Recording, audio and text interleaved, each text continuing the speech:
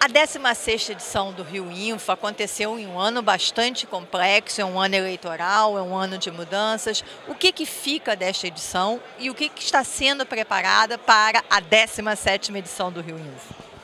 Olha, o que fica principalmente é a capacidade do Rio de Janeiro se reinventar.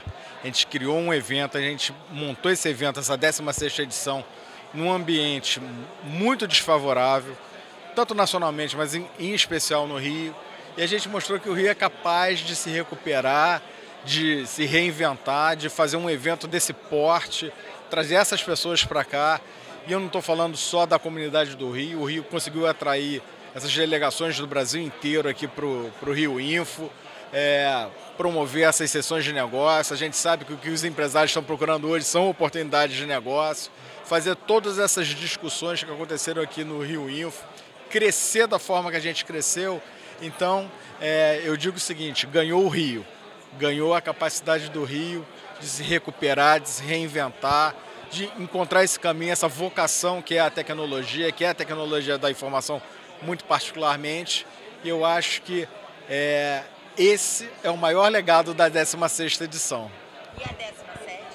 17 a 17 já iniciou, já começou.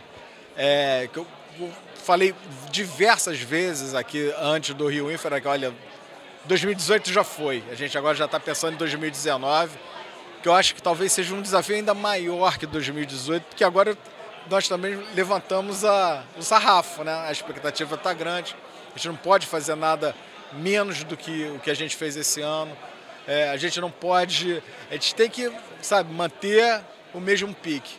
E para 2019, a, o que já está aí na, na, na, marca é a temática da cultura digital. Essa mistura que tem, essa, esse caldeirão de misturas que é a cultura brasileira no mundo digital. Então esse daí já é, é a grande marca do Rio Info 2019. Nós estamos no ano eleitoral, vai, vão, vão acontecer mudanças.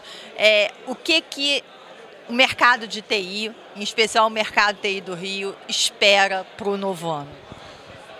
Olha, Ana, o que a gente espera é o seguinte. É...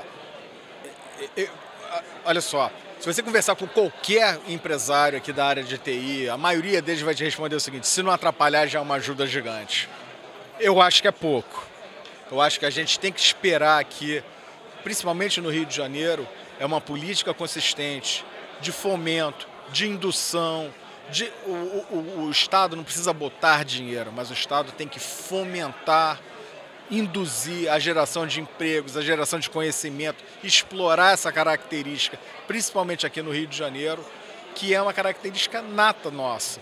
Então tem que ter uma política voltada para a inovação, tem, tem, que ter uma política voltada é, para a atração de empresas e a manutenção de empresas com intensas em conhecimento, intensas em inteligência, que isso é a cara do Rio. E é isso que a gente está esperando, né? Alguém que possa, é, junto com o empresariado, envolvendo a academia também, que possa fazer essa junção toda e preparar um plano estratégico para isso. Eu acho que isso é o principal do Rio de Janeiro. A gente não pode mais viver num estado que é o único estado do sul-sudeste que não tem uma política clara para esse setor.